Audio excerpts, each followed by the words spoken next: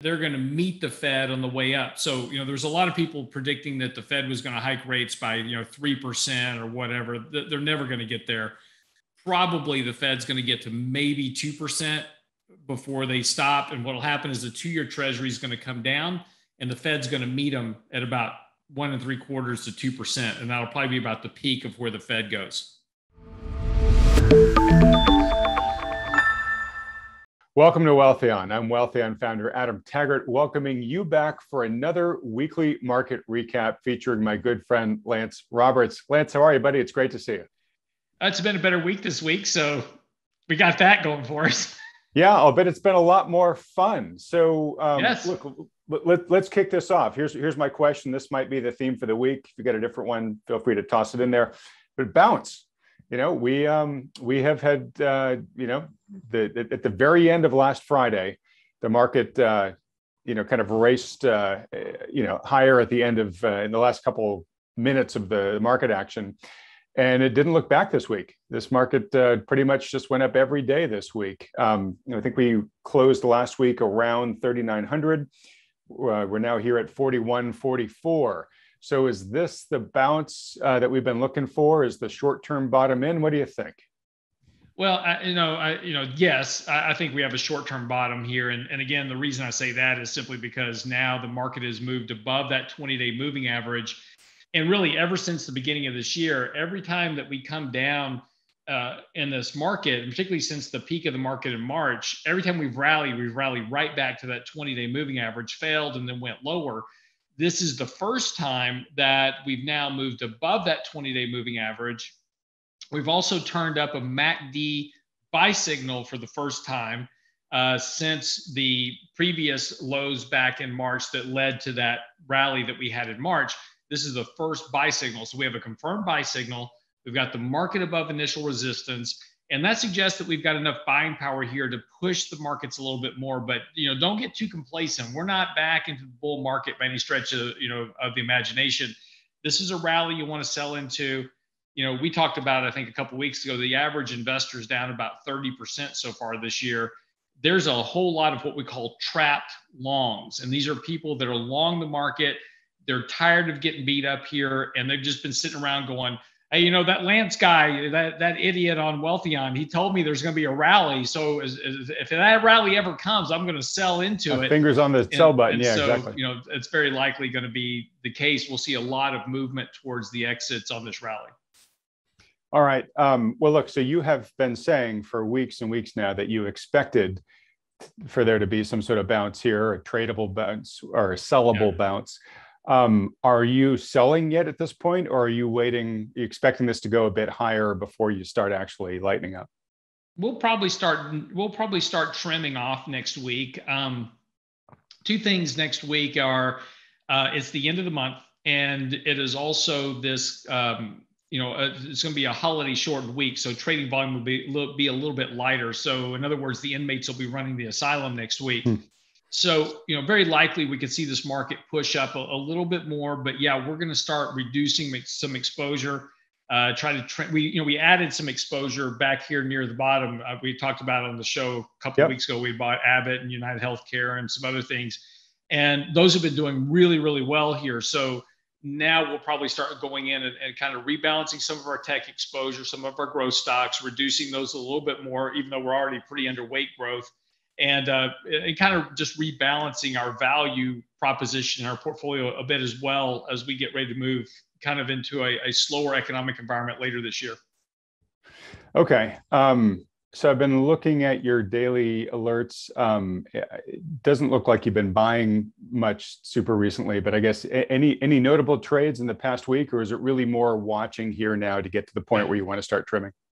No, we we were kind of in a position for this rally. Um, two weeks ago, and the market's really done nothing over the last two weeks. We just kind of bounced around a lot. So there really wasn't anything for us to do this week except let this rally happen because we kind of already positioned for it. So bonds have been working really well here as of late, and and we've seen bond prices come up, and now we're getting the equity bounce as well. So kind of every you know kind of all cylinders are firing at one time here, and that's great. So now we're just kind of letting the market come to us and then we'll use this rally again, like we said, just to start repositioning and raise a little bit more cash, reposition a little bit on the on the exposure side, um, and then go from there. Okay, so you mentioned bonds. Um, bonds did have a good week last week. I would say that continued this week, although it, it's it's they, they hung in there. They're they're up a little bit more than they were with the start of the beginning of the week, but they're not up dramatically here. Um, I know that's a longer term position for you. So as you start lightening up on some of the equities, are you looking to get trim any of the TLT, or are you literally going to hold on to that for another quarter or two? Um, no, actually, we're going to uh, add to it um, here at some point because, uh, again, the the tailwind for um, bonds is just now really starting to come into focus. Uh, technically, we just completed a head and shoulders pattern in interest rates. So, very much like the stock market, we've now completed a head and shoulders pattern in interest rates suggesting that we've seen the peak in interest rates. Uh, and, and I'm sure we're going to talk about inflation here on the show at some point today, but uh, there's more and more evidence coming in that inflation is now peaked. And as inflation declines and as economic growth slows, that is all very bond bullish. So, no, what we'll be actually doing is now shifting our. So, when you look at our bond portfolio, we have our bond portfolio really tilted towards the short end of the curve. And so, what we're talking about a very small position of TLT in our portfolio. We've got a lot sitting in one to three year duration bonds on the very short end of the curve. So those will start to come out. Uh, floating rate bonds and very short duration bonds will start to move into the TLT position as we begin to see that slower economic environment, slower inflationary environment, because that's where bonds will really start to perform well. Um, all right, Lance, and I just want to clarify on one thing. You said you, you, we may have seen the peak in interest rates. I assume you, you really mean the peak in bond yields, right? Because the Fed presumably is still going to be hiking its interest rates over the next couple of months, correct? Yeah, yeah, no, that's absolutely right. So yeah, let's let's be specific. The Fed's not done, but the 10-year treasury and actually interest rates in general are probably telling you that the that they're going to be coming down and they're going to meet the Fed on the way up. So, you know, there's a lot of people predicting that the Fed was going to hike rates by, you know, 3% or whatever. They're never going to get there. Probably the Fed's going to get to maybe 2% before they stop. And what'll happen is the two year treasury is going to come down and the Fed's going to meet them at about one and three quarters to 2%. And that'll probably be about the peak of where the Fed goes. Okay. Um, well, let, us talk about the Fed for a moment because um, the, we're a couple of different um, you know media appearances by the Fed this week, and um, uh, I want to hammer a couple things they said because it's it's somewhat supportive and relevant to, to what you just said. Um, so the Fed has said, "Hey, yeah, we're still on track for um, 50 basis point hikes both in June and July." Right, so they're they're sticking to their guns in the short term here, at least for now. at least for now. Um, they did say, quote, the economy is very strong and quote, the labor market is very tight. Um, so they're still they're still basically saying more or less what Powell said, you know, in his press conference three weeks ago. Uh, things are still hot, both economically, jobs wise, and inflation wise, and we got to do what we got to do to to bring demand down. Um, which I, which I, is which which by the way, that's all fine and dandy, you know, right now, but they're looking at lagging data Oh, and absolutely. That, and, and, and real time data is slowing down very rapidly here. So it's it's great conversation that he's jawboning out to the media, but the reality is, is that's not what's going on here. Well, that's where I'm going with this. And I, yeah. honestly, I don't think anybody with eyes is really believing what he's saying. Um, but I do want to say uh, that said, uh, uh, Fed President uh, President of the Fed of Atlanta, Raphael Bostic, did float a trial balloon this week of yeah, we're going to hike in June and July and they're going to be aggressive about it, but but maybe we should just pause in September and see what things look like then and then decide what to do, right? So that's the first as the first, you know, sort of moderating comment that's now come out of the Fed. And I think that deliberately was a trial balloon. They had, you know, oh, yeah. Bostic down there in Atlanta, floated up to see what folks uh, think. And then Loretta Mester, um, who I think is from the, the Fed Bank of Cleveland, came out and said, um, you know, and, and actually we could slow one of these 50 basis points increase down to a 25% base increase if inflation looks like it's starting to moderate. don't see that yet, but just in case it does, we could, right? right? And I think they're saying that because Lance, as you and I have been talking about, you just mentioned, you know, it is increasingly looking like that our prediction that the CPI peaked in uh, April April uh, is probably likely going to happen. And um, I want to I want to just briefly mention some uh, stats here uh, that the uh, core PCE, the latest core PCE data that was released today, um, uh, shows that uh, it is uh, beginning to decline. Um, so whatever you want to call disinflation in PCE, uh, we're seeing right now. So it was the first core PCE print below 5% in, in 2022. So the lowest increase for the year. Uh, the past several um, the past several months have been sh- showing uh, decreasing growth. Uh, and what's important about this is, you know, this is this is a track of the growth in consumer spending that drives two thirds of the economy um, it, you would expect it to be pretty highly correlated with the CPI, right? That as inflation rages, personal consumption to a certain extent is going to mm-hmm. rage because people are, are, paying higher prices uh, for stuff, of course, until demand destruction starts really biting. So, um, you know, we're trying to tile this together here is we may start seeing inflation come down. And as we have been talking about in this program, the Fed may use that as the reason to you know begin moderating its tough talk. And to your point, by the time the Fed funds rate meets uh, market set interest rates um, or yields, um, the Fed at that point, you know, maybe trying to engineer that. Hey, by the time we get there, we're going to have lined up all the reasons to say, yeah. you know what, we're kind of wrapping up early here. Yeah, uh, and you know, so yeah, you're right. You know, PCE, by the way, has has been down four months in a row. Um, so you know it's been coming down over the last right. four months. But just to be clear, the, the growth has been coming down. Yeah, correct. The, the the rate of change has been yes. coming down. Uh, but importantly, though, to, to this whole conversation, the Fed doesn't care about CPI. They look at PCE. So this is their so the the Fed's preferred measure is what they call the trimmed mean PCE. That's don't even worry about it. It's just they're not looking at CPI.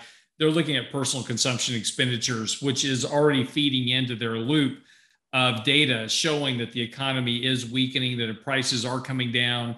And this is going to be more problematic for them with them trying to hike rates. And, and again, to your point, it was interesting to see, you know, uh, you know, first Bostic's very dovish. So, you know, everybody kind of dismissed him right away, but um, Mester isn't. And she's more hawkish. So for her to come out and say, hey, you know what, we might ease up here a little bit that's actually you know something the markets took to heart. And that's why we saw such a rally this week because now all of a sudden the fed may not be as aggressive as was previously expected you know and not that you haven't been hearing that between me and adam now for the last month and a half because we've been saying the fed's going to be less aggressive because they simply can't. They're going to hike rates and they're going to bust something in the economy or in the markets and the question is only what when and where and, and how it happens. And, and and so real time data has been coming in here lately and you know we've had 1.4% gdp growth negative in the first quarter. Second quarter gdp growth now according to the atlanta fed is going to be below 2% and by the time i think we get through june we may be coming on down to see maybe sub 1% growth in the in the second quarter if not closer to zero we'll see um, you know, we did have a little bit of improvement in some of the, the data in the second quarter, but again, when you're talking about negative 1.4% and maybe 1% in the second quarter, that's zero for the year. Basically, it's negative for the year so far. That's going to be really hard by the end of this year for the Fed to justify hiking rates if the economy is growing at roughly zero. Uh, that's going to, that, that's going to put the Fed in a really tough box on rate side. Okay. Um, well, look, I want to talk about another um, another of the Fed's strategies here that I think we, we've yet to see the implications of, and they could be quite material. And that's the onset of quantitative tightening. Right. right. To date, it's just been talked about, but but now starting next month, we begin to ramp it up, and the Fed is essentially over the next three months trying to get up to by September. It wants to be pulling um, 90 billion a month off of its balance sheet. Um, I think that's uh, 30 billion in mortgage-backed securities and 60 billion in treasuries, right? Um, and one of the things that's material about quantitative tightening is uh, we have a, an economy that is lubricated by credit, right? Credit is sort of the lifeblood as to how it all works. And what we are now doing is, you know, the Fed has been the biggest buyer, certainly at the margin for the past decade, right? And now the Fed's kind of going on a buying strike. Um, and the the outcome of that is is as the Fed's hiking the Fed funds rate and as the bond market has already driven yields higher already this year, the cost of capital has been going up, right? And it might still it might start moderating, like you're saying, Lance, but it's still a lot higher than it's been in previous years. Um, but now the quantity of capital is beginning to go down, right? Or at least it's not growing the way that it did. And for an economy that is has become addicted to kind of like almost limitless cheap credit, we're entering a very different world, right?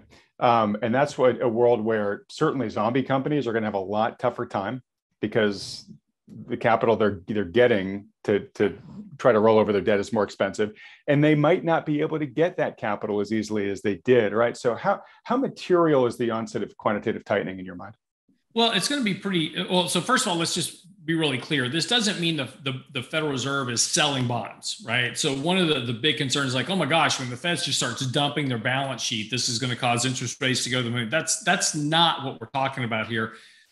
What's going to happen is that when we were doing Q, so this started actually back in 2019. Most people don't know that we were doing a backdoor quantitative easing in 2019 because we were bailing out hedge funds um, with reverse repo. So the the Fed was pulling onto their balance sheet a lot, a lot of very short duration T bills. And, and they were buying some bonds, but a lot of bills and shorter duration maturities. So they've been doing that here for the last couple of years. And so what will happen now is they will simply just say, we're not going to buy as many bonds and we're going to allow these bonds we have on our balance sheet to, to begin to roll off. So as they mature, then they'll simply either not replace bonds or they will replace whatever bonds they need. So, so let's say that that in uh, in any given month they're going to do and they have 90 billion that they want to reduce their balance sheet by, but let's say in a given month they have 100 billion dollars worth of bonds maturing, then that means they'll go out and they'll buy 10 billion dollars worth of bonds and let 90 billion you know just mature and roll off the balance sheet. So it's not necessarily this fear that the Fed is going to be dumping bonds in the market. They will be. They will be selling some bonds because some months they may only have 50 billion maturing, so they've got to sell 40, right? Um, but that's going to be that process they're working through. But it's not going to be this, you know, immediate cram down on the markets. But it is importantly a reduction in that liquidity. They are removing that liquidity by reducing the amount of excess reserves that are sitting on bank balance sheets, et cetera, which is what has been funneled into the markets in various measures. So it is going to have an impact. It is going to reduce that whole bias of the market that the Fed's doing QE, that means buy stocks. We are reversing that. And, and that's another reason that talking about this rally, the reason we want to sell into this rally is because we are about to start quantitative tightening. And historically, at least in what you know small historical you know precedents we have equity markets don't perform well when the fed's reducing their balance sheet. So you know we want to reduce equities we want to buy bonds because guess what? Bonds do really well when the fed's reducing their balance sheet. All right. So um, let's let's now kind of pivot and look at the the landscape ahead. And we talked a little bit about this last week but i've, I've had some recent discussions with some other experts on this channel. So, um, you know, somebody could somebody could look at the market this week and say, "Oh gosh, you know what? It it, it bottomed. It's bouncing here." Uh, I agree with Lance. I think uh, that that yields have have peaked, and um, you know maybe the Fed's going to going to be able to stop sooner than it's been telling us in terms of its tightening efforts and all that stuff. So they could kind of walk away with kind of a rosy picture here. But um, as you just mentioned, um, we actually think that that there's still trouble ahead for the financial markets, um, and uh, you know, a, a not unsubstantial part of that is the fact that I think we think that the the the probability of approaching recession is is is pretty high at this point. Can't say it's guaranteed, but I think I, I, I think it's likely. I won't put words in your mouth. but My, my guess is you probably feel pretty similar. So that's just the financial markets. And we talked a bit about this last week, but then there's the housing market, right? right? And um, we've been kind of beating the drum recently about the concerns we have there. I think we just continue to see more and more evidence that um, uh, you know sales are struggling that that uh, price decreases are now increasing um, which is something that we never even saw up until just a couple right. of months back right. um, and then i want to talk about the jobs market too because that is fast deteriorating as well i mean we, we still have Powell's you know two openings for every applicant ringing in our ears but if you look at uh, i mean honestly if you just look at the layoff data which right. you know there's a progression you go through before you actually get to the layoffs but i mean layoffs themselves are already increasing dramatically. And i want to i want to just mention this one quote here. Um, piper sandler's chief economist nancy lazar just said we could see a million layoffs or more as many good sectors that benefited from the pandemic now realize they added too much capacity. Um, so uh, and that's just on the good side. So um, we could have really sort of like a triple whammy here where we have a, a material correction in the financial markets in the housing markets and in the jobs markets. So you know as you kind of look out ahead lance how worried are you about about well, the coming year? well that's a recession is what you're talking about. Uh, so it is. But but, but, it's, but, but, but, it's not, a, not a blink and you miss a recession like we had last no, year two years no no. well that wasn't a legit recession. okay Right. Well, that wasn't really a recession, right? That was an economic, that was a man made artificial economic shutdown. So, yeah, it was a recession because we laid off a bunch of people, but, you know, that didn't happen of, of just organic nature. This is going to be more of an organic recession. It'll be, it'll last longer. But look, here's the thing right now. Are we going to have a recession? The answer is probably yes, but the, the timing is going to be the issue there's too many people talking about a recession right now. We talked about this last week. You know, 8,200 articles written on the coming recession. You know, it, it, just and and normally when you have the media and everybody talking about something like that, it's not going to happen. At least right now. And what I'll, so here's what I suspect the the order of magnitude will be is that you know we're going to have this rally and it'll be and this rally could be stronger than a lot of people expect and which will be great because it'll get jim cramer back into the markets was like oh, the bear the, the bear market bottom is in and you know bull market's back. Look how strong the economy is. It's great. You know jerome powell engineered the the soft landing you know first time ever you know three point touchdown. Yeah stuck it. You know that's what you need to hear and when you start hearing that that's when you want to start becoming more cautious because then what this is what bull markets this is what markets do. Bull market you know markets tend and especially bear markets they will suck investors in um, with these with these counter trend rallies making you think that the bull market's back and that's when the trap door opens underneath you and then it's kind of you know katie bar the door. You know that's my suspicion of what's going to happen here at some point because there's just really too many people really way too bearish about the markets right now everybody's on the in the bearish camp. You know, equity exposure on hedge funds, mutual funds, et cetera, at extremely low levels.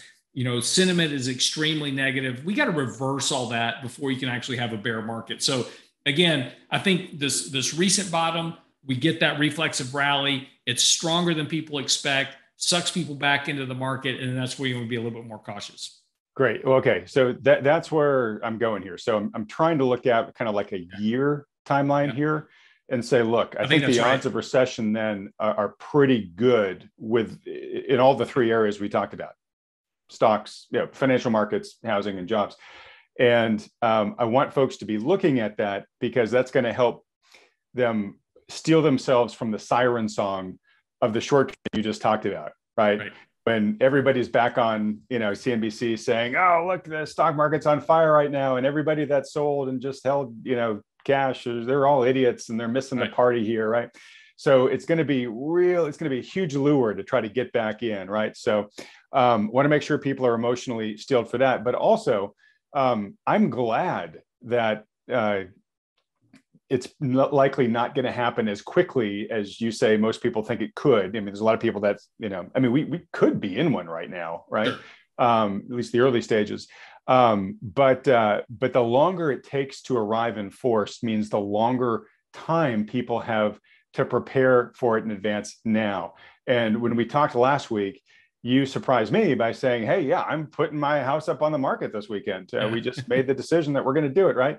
It actually sold. sounds like you have an update on that first. So before yeah. I continue, you have an update on that, right? Yeah, it's sold. So it, it took four That's days. amazing. so, so it's kind of interesting though. We were talking about the housing market. Is that you know we're seeing a lot of you know price declines around the country, and these kind of really overpriced. You know, Canada, California, you know, New York. You know, we're seeing a lot of price declines. You know, I live in Houston, Texas, and that hasn't got here yet. But we didn't have the big run up either. So, you know, housing is very market centric and it's also very, you know, uh, economically centric, depending on, you know, where you are within the country. So, again, you know, the, reason that we're selling the house is because we see, you know, we, we all, we've been talking about what's coming, right? Higher interest rates, the housing prices will, will, will peak and, and, and go down. So we're selling our house and we're going to go rent for a few years and, you know, wait for our next opportunity to buy something cheap because it's an asset for us too um, but yeah, so you know, right now it's still a very crazy market here in Houston. So you know, we're taking advantage of it. But it, it, I do think that in the course of the next, you know, few months to later on this year, as the Fed continues to hike rates, once we get into a deeper bear market and we get in that recession, that it even slows down here in Houston as well. Yeah. All right. So, anyways, I'm glad that you are kind of leading the charge uh, in not just words but actions, right? Saying, "Hey, look, given where I think things are going, I'm taking steps now." Because at the end of the day i mean that's that's the business you and, and other you know good financial advisors are in right now right. is trying to prepare people for what's coming and part of your job is to prod them and to say hey you can't just talk about this stuff all day long you actually got to take action right, right? right. Um, so i presume you're having your firm's having conversations like this with folks but um, i guess sort of two questions for you when is going to be you know are there other steps that you would recommend that people you know start taking today right? And, and I'm, I'm not recommending i don't think you're recommending everybody should go out and sell their house today if you're a homeowner. But you should kind of do an audit right? And just say look where am i exposed and what things can i do today to to make myself less exposed? Um, and obviously i guess the biggest one would probably just be like well look you know update your plan or if you don't have one make a plan right, right. don't go into this just sort of you know like you're you're just going to wing it right? Um, well, I guess first, let me let you ask that question, then I have sort of a follow up one. Yeah. So I actually just wrote an article on our website. Uh, if you go to realinvestmentadvice.com, it's called How to Invest in a Recession.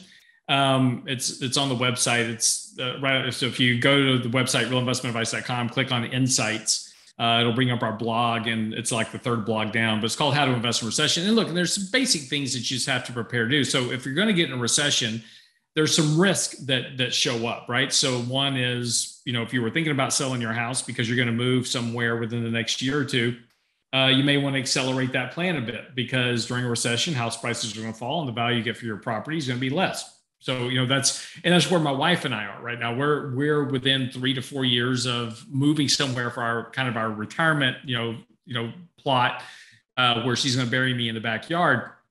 So you know you know, it just, you know, it makes sense to take advantage of that now. And, and obviously, if you got a family with young kids going to school, you, that's not an option for you right now. So it, it that's very, that's very timing specific uh, to where you are in life. But uh, the one thing that happens during recession is you run a risk of losing your job. Company goes out of business, company downsizes, whatever it is. So make sure that you've got some extra cash put away in the bank. If you have three months worth of emergency funds, maybe make it six or nine months uh, give yourself some time so you're not forced to go sell down equity assets just to try to pay bills. Um, another thing you can do is also take advantage right now of tax loss selling. Um, you know, we had a lot of gains from last year, and with markets down where we are, a lot of people now have some negative assets. Take advantage of that, raise some cash in your portfolio, do some tax loss selling now, and have that tax benefit picked up. You know, for as we move into the next year, as we start to buy the bottom, wherever that bottom is ultimately and we're going to make some gains coming out of this bear market at some point. We'll have those tax losses we can carry forward to offset taxes in the future. You know, also too, start thinking about repositioning the portfolio to weather a recessionary period. That means, you know, less, you know, focus on stocks that make money versus, you know, you know, stocks that don't make money. Value stocks continue to be a great place to be even during a recessionary environment. And don't forget about bonds because again, you know, we talk about bonds a lot here, but bonds do well during recessions because money moves into safety assets. So those are things that you can start doing right now just to prepare for a recession. But investing, you know, through the recession, there's going to be some great opportunities. But if you don't sell some stuff, you know, and have some cash, you can't buy those. This is the problem with buy and hold investing. It sounds great on the surface that you're just going to kind of ride all this stuff out, but reality is is that never actually happens. And the second thing is you don't have any cash to buy with when really good opportunities come along, and we're going to see some great opportunities here in the next year or so.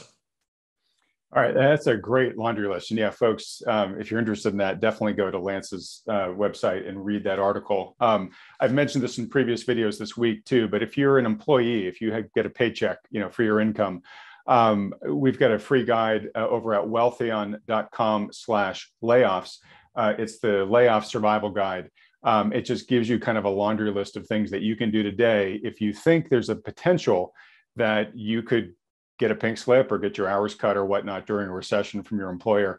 Um, totally free resource to, to go read and, and, and just dial through, but it's I, recommended it's just something to spend 30 seconds at least doing uh, because there's a lot of helpful resources in there uh, that if you decide to put them into motion today can really help protect you down the road. Um, one thing you said there, Lance, I want to dig into real quickly, um, at least just flag for folks is um, you talked about you know sort of tax harvesting, um, which definitely folks should do. there's a risk I just want to note for people who um, have had big gains and are still deploying that money into something else. Uh, I'm, I'm I recall back in the uh, the dot com era, right before the bust, um, there were people that uh, exercised options, um, or they they they sold stock that had gone up tremendously, and then they put it in something else. So they had these big taxable gains that they were going to have to pay come next tax year, and then they lost the value uh, of, of the you know whatever they're invested in lost a lot of value as the recession hit. So by the time the tax season next year came around, they basically didn't have any assets anymore, but they had this big tax liability to the government. So I see a smiling kind of laughing as I'm saying this, but but that's something you got to watch out for here if you're let's say like a big crypto trader or something like that, correct? No, I mean that's absolutely right. That's what a lot. I had actually had a guy call me a couple of weeks ago. He's like, "Hey, I've got some rental properties. Will you buy them from me?" Because I, I, do hard money lending. That's one of the things I do. And he's like, he called me up. He's like, "I've got some rental properties. Will you buy them from me?" Because I just got hit by a huge, you know, tax bill that I can't pay from my crypto trading. And I'm like, you know, sure i'll give you 50 cents on the dollar for your properties you know you know so you know that's but that's exactly what happens with a lot of people and, and what i'm talking about with tax loss harvesting is not really that right i'm not saying go out and sell your stuff now and rack up a bunch of gains but a lot of people but a lot of people have gains from 2020 2021 and now a lot of those gains and some of the stocks they had are now losses you know the the pelotons and that type of thing those aren't coming back anytime soon. The ARK type stocks aren't coming back. Sell them, get them off the book, take the loss. They're not going to save you. Get the money invested where it can grow for you and, and be more protected during recession. And then at least you have that tax loss that you can offset in the future when we start generating gains again. All right, all right, great. Um, all right, so I want to I want to take it now in another direction, and um, uh, I'm going to see if I can avoid triggering your your weekly rant here, Lance. Um, so my wife is a, a, couples therapist, and we were talking the other day about uh, the big three, which um, these are the three biggest friction points um, in most relationships. They're the ones that are the biggest triggers of divorce or just unhappiness. And it's money, it's sex, and it's family. Families mostly either children or in-laws, right? Um, uh, although she says really money and sex are the two really big ones of, of the top three. Um, but you know, having been married to her for over 20 years now, and and you know, she kind of she can't tell me names, but she tells me a lot of the issues that she has to deal with. Um, it is amazing what a tremendous factor money is um, in in the relationship dynamic. Oftentimes in a pretty negative way or anxiety inducing way, and uh, and I think that only gets exacerbated uh, during times of, of vulnerability or loss. Um, you know, certainly, you know, going into recession when there's losses in the nest egg, income loss, et cetera. Um, and I know that as a as a financial advisor, you, you kind of almost have to be part therapist as part of the job, right? So I, I guess I just want to sort of tread into whatever territory you feel like talking to here about you know, what what are some of the biggest issues that you see, you know, people, couples, families sort of struggling with around money right now? And, and do you agree that that we could be entering a period of time where those stressors are going to get worse? And so, you know, again, that's maybe one other thing we want to work on is the the resilience of the relationship with the people in our lives that we have to deal with around money. Uh, you so you know, it, it's interesting. You, you, know, you're absolutely right. Money and sex are the the two biggest causes for divorce in the country. Period. And look, it, it's a pretty simple formula. Uh, and when you talk about sex, it's it's the lack of sex, and the other is infidelity right? And those those two, when you talk about sex, those two go together. Yep. But look, it's a pretty simple formula here. Is that if you're having money problems, it's almost guaranteed that you're not having sex, and if you're not having sex, and somebody's going to cheat on somebody, I mean, it just kind of rolls downhill. And I don't think that I don't think that's rocket science here for anybody, but you know, look, if you're fighting over money, eh, nobody wants is like, hey, you know, I, I'm mad at you because you know you're spending too much and i'm in debt let's go have sex. And that just doesn't happen right? Um, and, and, so these two things you know work very very close together. And and this is why it's so important for couples to be on the same page when it comes to you know financial planning and investing and these type of things. And and it's, and it's not the case you know the majority of the time when people come into our office you know we meet with the husband. Um, sometimes it, not surprisingly at all the the wife is taking care of all the investing and all of the bill paying and and the husband's off doing his thing right? But it's never you know only rarely do we meet with both at the same time and they're both integrated and they're both you know involved in it. Generally one of the partners is dealing with the money. They know where everything all the bodies are buried etc and the other person's like i don't care. He takes care of that or i don't care. She takes care of that. That's her job but that's a terrible way to approach things because what happens is that when something inevitably goes wrong, the other person's surprised by it. And they're, they're like, well, how did we get here? And then the whole thing kind of blows up. And this is why, you know, money and sex leads to divorces. That's why you have such a high divorce rate in the, in the country now as well because of that you know so it's important when we go back and this is why having a big emergency fund is very important. And just you know everybody's like well it can't just sit in cash. It's losing out to inflation. No it's not. It's there. It's there for a reason. You've got it for emergencies in case something goes wrong and you've got it there in case asset prices crash then you can go buy stuff really cheap. Cash gives you a lot of liquidity and a lot of options but it also helps stave off that stress in the marriage because at that point say look honey you know we get, we're, we can't take any money out of our investment portfolio right now but it's okay. We got cash sitting over here. Hey i lost my job. It's okay. I got six months to go find a new job. We're okay. You know that's where all of this and then you can work as a team to start solving these problems. Okay honey i'm going to help you go get a new job. I'm going to i'm going to call my buddies. I'm going to do whatever and i'm going to help you get reemployed. You know whatever it is we're going to make it we're going to make it work and that's what a great partner is. And this is the thing that we really have to approach our relationships as. And you know and like my wife and i you know i love her very much. She loves me. We we we have a, a great relationship but we are the, we are best friends and we are partners in business.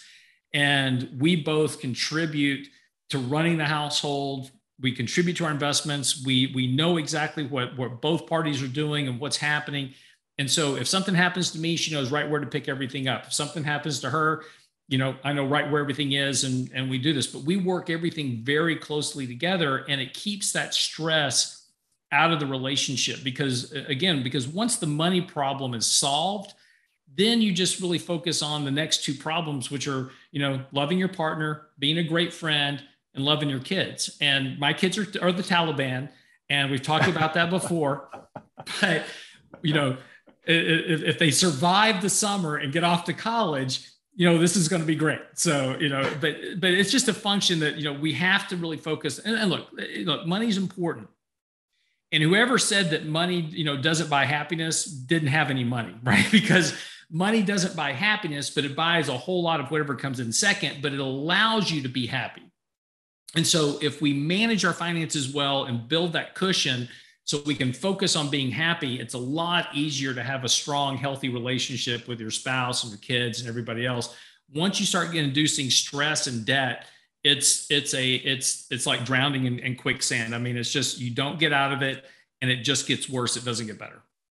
Yeah. And and you know it's one of those things that um each partner brings their own personal baggage around money into a relationship and oftentimes yeah. it's never addressed before the marriage. You kind of you, you kind of find out each other's landmines as you step on them once the ring's on the finger right? Right. Um, and you know my, my my wife and you given your professions you know th- this isn't academic. You you actually are dealing with the people who every know, day. you, you see the devolution right? When, when it goes day. wrong you, are the guy they come to and they're bickering about it or i'm yeah. we, we, we, we couldn't come to agreement. We're getting divorced and i got, I got to sell my assets with you because i got to give him half or whatever right? So um it, it, it's a real it, it's, a, it's a real real need. You, you you you hit like three or four things that I'd, I'd like to try to get at least some progress on some of them before we wrap things up here. Let me start with a positive first which is um, you know it sounds like what you're saying is the healthy way to manage your fund is to be partners in business, as you said, right? Where uh, even if one person has a, a proclivity for investing and a greater interest in all this stuff, ignorance on the other partner's side isn't useful. Right? right. And one of the things that I've seen a lot in the years in which I've referred people to advisors like yourself is you have one person who is carrying the weight. And um, one, they might feel a little isolated uh, with that role. They might feel an undue burden of pressure, like, ah, it's all on me to figure out what our financial future is going to be like. But even if they're comfortable with it, once they get later on in life, there begins to become an anxiety of, hey, you know, I, I may go first, right? And then I'm worried that my partner doesn't know how to do this they haven't developed the muscles they at this point in their life it's not fair to ask them you know to, to, to do this so, um, eh, you know, uh, are, are there ways in which, if, if someone's listening to this and saying like, oh, that really kind of sounds like me, mm. are, are, are there conversations that you guys can help facilitate or are there, there, you know, strategies to kind of get people enough on the page so that if indeed the lead partner is out of the picture for whatever reason, there can be a smoother transition for the, the successor? Yeah, and it's it's funny because you know I tell people all the time that you know in our firm, we spend probably 80% of the time being psychologists, whether it's in investing psychology or marital counseling, whatever it is. You know, that's that's a big chunk of our job every day is just working through these kind of issues because that's what financial planning is really all about. And you know, you know the problem is and again with with partners and, and, even great marriages right? One partner is like you know i'm not even interested in money. I've got no interest in investing. I, I you know and look we've raised everybody this way. You know we don't teach it in school. We don't you know economics boring. Look you know and like there's no you know investing radio show that everybody tunes into right? I mean investing shows are very low you know everybody wants to listen to a political talk show or whatever or they want to listen to music right? They don't listen to investing because it's boring, right? And most people are just like, ah, you know, just boring money. Or um, they've been told it's boring. Or they've been told it's boring, right? Yeah. And, and, and look, you know, I do a daily radio show on investing, and it's it's boring. No, that's just you know.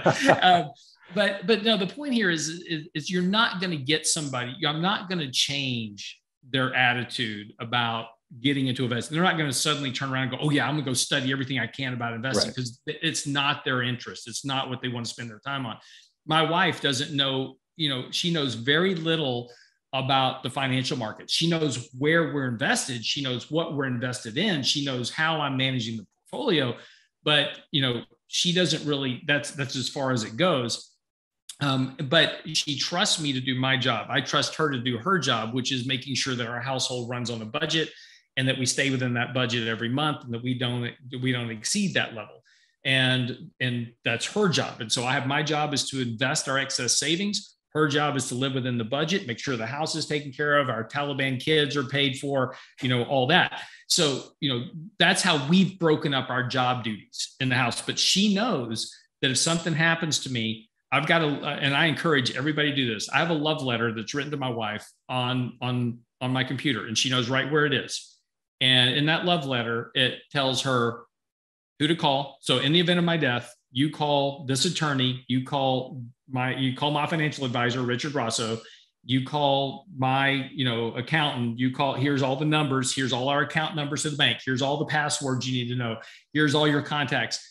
And here's the will. Here's our trust. You know all this stuff is packaged up in a very nice little binder for so she only has to go to one place. She's not roaming around the house in in the middle of distress right. if I pass away. And this is what happens to so many people. There are financial advisors that spend their whole career reading obituaries and they're looking for little old ladies whose husbands passed away left them an insurance policy and then they go chase after them and convince them to go put all that money into an annuity where they get a big upfront commission you know you know but they just prey on that whole part of that of that thing and and when somebody goes through a passing of a spouse that is the worst possible time to be making investment decisions i get call i got a call from a, a, a lady just a couple weeks ago her husband passed away and she's like, I don't know what to do with this money. He was always handling the investments. I go, do nothing. Go put it in cash. Call me in a year. And she's like, why in a year? I said, you need to grieve. You need to go spend your time figuring out, you know, what's going on. Go through the grieving process. Go through that that whole environment. Get yourself situated personally. You can't even think about investing and running a portfolio right now. Put it in cash. Nobody's going anywhere in a year, call me and we'll start working on this. And she was like, great, thank you very much. You know, and and and that's you know, but unfortunately, that's the things we have to do. So what we need to do as as as both spouses is have that preparation in place so that when that grieving moment comes you know that's the worst time to be making decisions but all that should already be done. You know my wife does not like dealing with mortality. Whenever i start talking about you know estate planning or anything like this she's like i don't want to know. Yeah exactly. Don't i don't want to hear it. i was like honey you have to and i try to make it as easy as i can on her but you know her imagining us not being together is a very tough challenge for her but she's you know it's it's something we can't avoid we're all going to die eventually and i'm convinced she's poisoning my cupcakes anyway but um, you know, um, but anyway, that's you know that's the important thing here, and we just have to to, to do that. But you're not going to change that mentality of somebody not wanting to know about investing to making them an investor. You've just got to make sure they know where everything is and that they've got somebody that they can refer to in the event that you're not there. And so this is where you build a relationship with a good financial advisor somewhere, doesn't matter where, but find somebody says, look, in the event of my death, I need you to take this over. And my wife needs to be able to trust you. That's exactly kind of where I'm going with this, which is look, the, the best is kind of the the equally shared approach where both people are co-developing this, right? But but as I'm hearing you say, is it, it's rare because people have their areas of specialization, just like you and your wife do, right? Um, so you know what you want to do is you want to have the the spouse that is not running the show to at least understand the why and the who meaning okay why are we investing this way? I don't need to understand exactly what you're doing or how you do it or you know i don't have to understand economic theory or anything like that but i we have a shared mission of okay we we these are our main goals right? And then you want them to understand the who which is okay if you're not around anymore who's my partner to work on this stuff with right. And and you know i think a lot of people watching here again we're probably you're probably seeing a lot of their relationships, you know, in our discussion here. But there are also a lot of people who are watching this who have been kind of going it solo, right? There's a lot of people that haven't been working with a financial advisor. They're watching programs like this to get information to put into practice themselves, which is great if, if that's what works best for you. But if you have a spouse that is going to take the baton from you when you go, if they're not prepared to do this, then you really should find that successor right? And and have this exact same conversation. And, and, lance you talked about kind of the the binder right? Where you have everything pulled together all the account numbers uh, you know the the trust the wills et cetera all in one place. So it's just a very turnkey thing for the grieving spouse uh, right. to, to have to, to deal with. Uh, it, it is such a I hate to use the term gift in such a morbid situation, but it really is the, one of the kindest things that you can do for them and your successors is to have all of that stuff already pre-packaged and, and organized for them. Because like you said, Lance, you're not in a mindset to do anything complicated during that process. And, uh, and, and having helped people go through it, it's a nightmare when you're unprepared for it. Yeah, and it's one if if you've never been through the process of working on somebody else's family trying to get stuff sorted out, to your point, it's it, it, and and it's and you're having to chase everything down. It's the worst process ever. It's like an archaeological dig. I it, mean, it is. yeah. And everybody and everybody's mad at you. everybody's mad at you it doesn't matter and you know and that's and look I, I tell you this i've been in, I, have been doing this for 35 years 36 years now whatever it is uh, a long time and i've i've met with thousands of couples and i have seen more families destroyed over a death in the family not from the loss of the patriarch right so the, the father passes away leaves a bunch of money to the family with no will no estate plan put together, and the family completely rips itself apart. Tears over, itself apart. Yeah, you know, oh, you know, somebody's trying to get this, and somebody wants that, and and you know, there's there's no direction, and everybody's mad at everybody now. And I mean, I, I literally have seen families explode to where nobody talks to each other ever again. Yeah, and it's, yeah, and it's a terrible thing, and that's even what the, that's not what the parent wanted. Well, and it's so avoidable, right? And this is kind of morphing into an estate planning discussion, which I yeah. didn't necessarily intend to. But, Sorry. But no, but, but, no, but, but on this point, it you know, people don't like talking about their own mortality, whatever. We're all procrastinators. But to your point, it's one of the worst, most toxic things you can do to your family to die without a plan. At least communicating kind of your general mm-hmm. desires of who should get what, right? Because otherwise, it just becomes Lord of the Flies, right? Yeah. Um, and and look, maybe maybe at some point, if there's interest we've already talked about doing kind of a retirement planning uh, event for for this audience. If folks are interested in the estate planning one, we could do easily do that too. Mention that in the, the comments below. All right, Lance, real quick in the, the last couple of minutes we have here, I want to talk about um, children, or in your case, the Taliban. Exactly. Um, so, uh, by the uh, way, by, by the way, I love my Taliban. You love your children. So, yeah. um, so uh, you know. Um, we do, as you just said, we do a crappy job of teaching financial literacy in our education system. So without help, kids aren't going to learn anything, right? And one of the best practices or better practices that I've seen is families, and you don't have to have a lot of means to do this, but families that have almost sort of like an annual shareholders meeting yep. with their kids once their kids get to a certain age. And I think kind of, you know, middle school, certainly high school, they're old enough to do this where you sit down, you have to tell them everything, but you kind of tell them, okay, this is sort of where our general investments are right now. These are sort of the decisions that we're making. These are assets that someday kids, you know, if you have enough, maybe getting passed down to you. We want you to kind of know where things are. We want to foster the discussion in your mind of, you know, what don't you understand about this? What questions do you have? And then you sort of set some shared goals like, hey, here's here's a hundred bucks or 500 bucks or a thousand bucks let's invest this as a family. Hey, everybody, let's have a discussion about what stock should we put it in this year or whatever. Again, just kind of beginning to exercise those muscles, give kids an entry into you know being a steward of capital and all that stuff i see you sort of smiling and nodding as i'm saying this but again from your perch you're probably best positioned to see what works and doesn't work here so what do you have to say on this topic well, uh, two things. One is that if your kids are in school and they come home and they tell you that they're doing an investing class at school, take them out. Um, the, the reason is, and, and just say, just tell the teacher that your child is not going to participate in this. And the reason is, is that the, the way these classes are taught, all it teaches them is how to gamble. It doesn't teach them how to invest. It's like here you have this this mythical pot of money, and by the end of the semester, whoever does best wins. And so the way you win that game is by buying the most speculative stocks in a market and hope they run up a bunch. So I buy penny stocks because those have the, the biggest chance of percentage gains. So, we're, but we're not teaching our kids anything but how to invest, and and and that's a terrible way to teach kids, money. So if, if they come home to do that, just take them out of the class and or tell the teacher they're not going to participate. Um, the, the second thing is is that you know i made the mistake of telling my kids where the assets are and they've been plotting my demise ever since so just be aware just be aware if your kids are the Taliban like mine, there is a risk. so, but you know, it, no, it's, it's very yeah. Just to, don't tell them how big the insurance policy is. exactly. Um, but seriously, you know, there's you know, there's some great way. Look, I, I can just tell you how I, I, am just going to tell you how I do my kids, right? I, I, can't I can't give you advice on your kids, and everybody's different. Um, when my kids turn 16, I make them get a job um, I make them, they want a car. They've got to save up the down payment on the car. I match their down payment just like they have a 401k plan. So it encourages them to save money.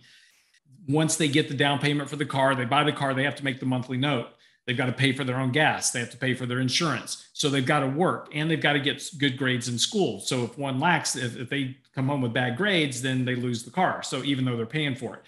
So, but there has to be both reward and risk uh, to them to teach them the value of money and, and saving and the importance of that. It's also important to say, look, you're earning money. This is great.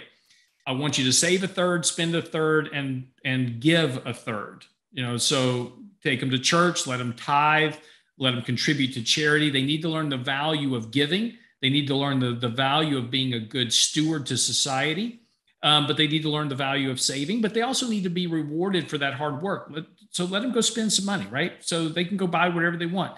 Um, but as they save money, we reward them just like a 401k matching plan. So when they save up so much money, we'll help contribute to that little pot that they've got that they can go get something that they really like. So there's a reward process for doing this, but it's teaching them the value of money. And then as, as they keep getting older, we keep pushing more and more responsibility onto them. So now they're all getting ready to go to college and they have to pay for their own school. We do not pay for their college. We will help them ultimately if they need help. They don't know that, by the way. So hope they're not watching this video. Um, but that's they're they're responsible. They will work their way through school. They will make good grades. They will do those type of things because that's that's the responsibility that we bestowed upon them.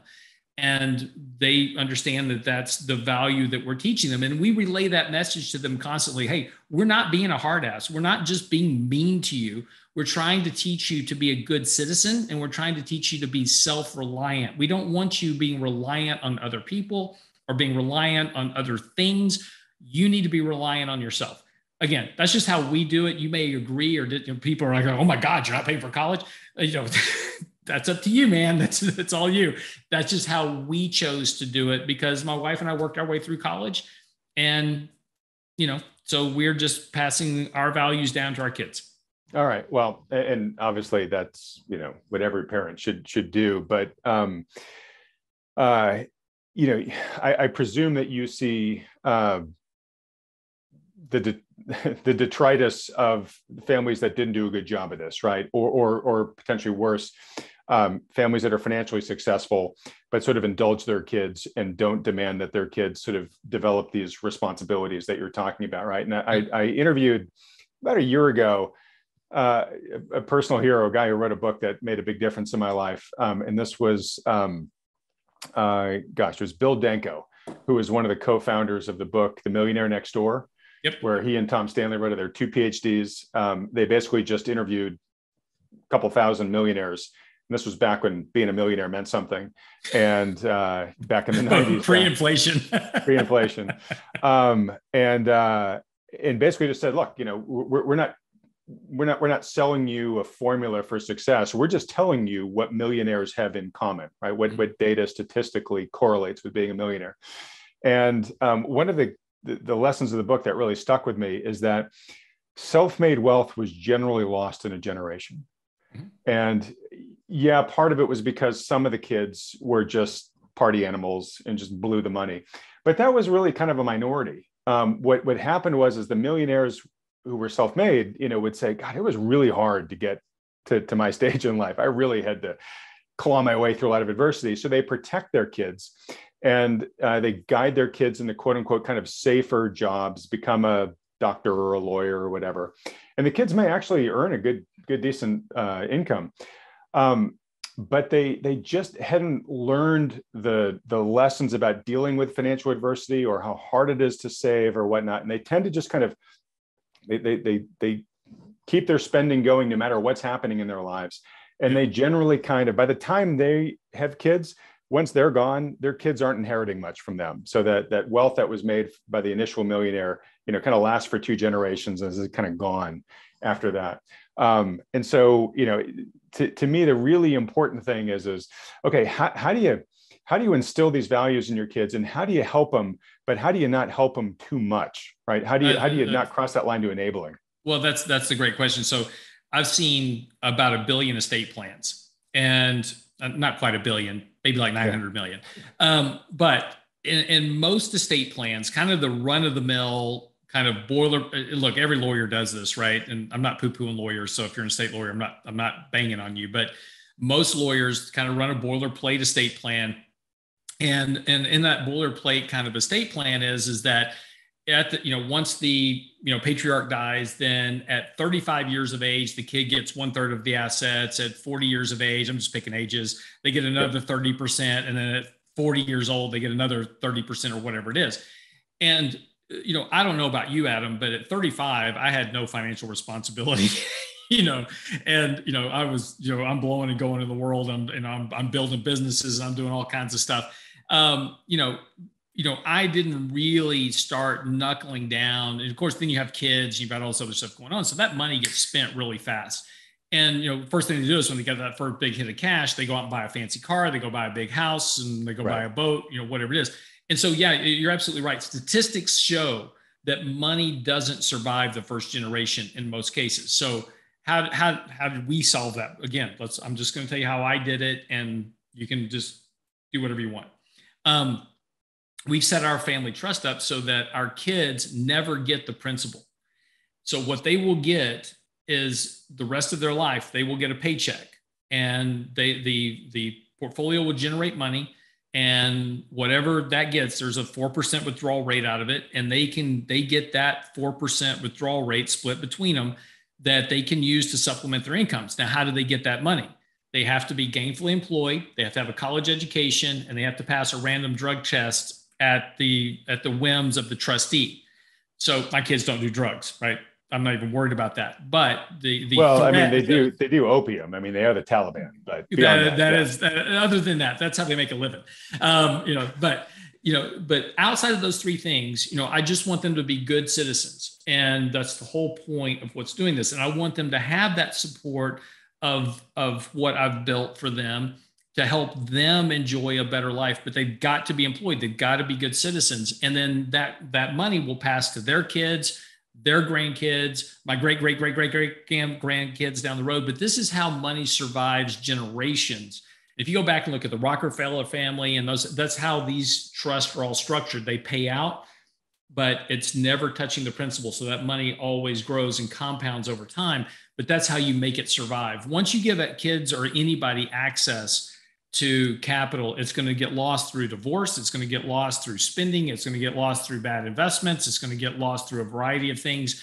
And, you know, so protect the capital and it's not hard to do just setting up a decent estate plan and doing it the right way you can shield off a lot of those risks all right awesome well look um, in wrapping up here um, wait wait before we wrap up you know what the yeah. difference is but you, you want to know what the difference is between a divorce and a bear market sure what well in a bear market you still lose half your money but you still have your wife ah, financial advisor humor and dad humor combined in one. Uh, in the uh, one, yes. Yeah. Um, all right. Well, look, in, in, in wrapping up here, um, you know, the only thing I'll add to what you said there, Lance, is is bringing it to to what my wife and I are looking at is is the families that I've seen have done a really good job, um, and, and, this is before the, yeah. The, the the parents kick off. Um, is you know being selective uh, about how they give economic health to their kids but but really doing it in a way that i think i, I look at as sort of like a, a, a, tipping point moment where it's like if i can just give a little bit of help here it can make a big difference on the trajectory down the road so it's like if i can help them get into a house earlier right and it's not i'm buying the house for them right. but if i can give them a couple years head start well there's a lot of benefit that comes from that right? Um, if they're you know working in the you know the, the rat race and they're at the point where they really think they want to branch out and start something entrepreneurial but they're still saving up for it. Well if i can give a little bit to them to get let them do that a little bit early right? And and there can be conditions on it and all sorts of things um, it's not just free money or it's not just all the money they need they still have to do the majority of the work but it it it lets them take advantage of that compounding effect earlier in life the, there, there can be pretty dramatic benefits to that. And I've got one or two examples that honestly would take too long to explain right now here at the end of this one. Maybe we, we talk about it a bit later in a different video. Uh, but anyways, um, I think that's another good way to look at it too, which is like where are the moments in their lives where a little bit of money can make the biggest outside Look, positive difference in their life. Absolutely. Look, you know, it's like it's like my son. He's he's you know he's going to college to major in engineering, and he wants to own his own business someday. And so you know, we've already got a plan together. Once he graduates college, gets his PhD, He's going to go work in the workforce for a few years, and then we'll start a business together. I'll I'll provide the capital to start the business. Um, you know, but there's, and you're absolutely right. I mean, there's things that we can, and the beauty, the beautiful thing about having money and of, of, and where you've got some security is it does give you that flexibility to help your kids get that jump off point that you didn't, I didn't have that. No, nobody helped me at all ever. Right. And so, you know, it's, it's been a function that if I can help my kids have that jump off point to your, to, to your point and get them that accelerated race, you know that's fantastic but you know it's a business and you have to treat it like a business so if you're going to help them you know uh, put a down payment on the house it needs to be structured like a business. It's not just giving them money it's a loan. You draft up a loan document you you give them the money you help them get started but make them responsible for that payback. If you want to forgive the loan at some point that's up to you but they need to understand that it is part of that business cycle. And so if you treat it like a business a it'll make sure your your relationship stays good. The biggest the biggest problem with relationships between family members period comes down to misunderstandings between what you thought you were doing and what they thought you were doing. Exactly. And and so having it docu always document everything. It's in writing. Everybody's on the same page literally about what you're doing. And because money again i just can't tell you how many families i've seen blow up over the smallest things relating to money I mean, literally to the point that family members have sued each other, and it's just stupid because it's over money. Yeah, I totally agree. Uh, I agree with everything you said there too. The the one thing I'll I'll include is is you know what you want to do as a parent, and and you know, Lance, like you, I'm self-made. Um, you know, you you got to preserve the struggle in there for mm-hmm. them. You, you can't you can't you know if, if if you're removing the struggle, then you're enabling, then you're creating a dependent, right? um, that's a huge part of the, the, the education that they need to learn there. All right, on that, folks, really interesting conversation this week, Lance. We we kind of morphed from markets to the personal finance side about halfway through. Um, yep. Folks, hope you liked it. Um, if if you like to see more of this type of you know. Um, you know, m- markets are for the money you have in the markets. The rest of money is just about all the money issues we have to deal with just being regular people living our lives. Um, if you like this type of discussion, let us know in the comment section below, or if you don't, let us know too, and we'll use that as a gauge for whether we do more or less of it going forward. Um, all right, Lance. Well, look, been another wonderful week. Thanks so much for uh, giving so much time. Um, all right, everybody else, uh, don't forget if you have not yet availed yourself of a free consultation with Lance's firm or one of the other financial advisory firms that Wealthion uh, endorses. I think we gave you a litany of reasons uh, in this conversation why just talking to these guys is not a bad thing to do at this point in time. Uh, no obligation, no cost. Uh, if you're interested in that, just go to wealthion.com. Um, and if you continue to enjoy this series, I think this is the 21st recap we've now done, Lance. Do me a favor, support this channel by hitting the like button and then clicking on the red subscribe button below, as well as that little bell icon right next to it. And other than that, folks, have yourselves a great weekend. Lance, thanks so much, buddy. Everybody, thanks for watching.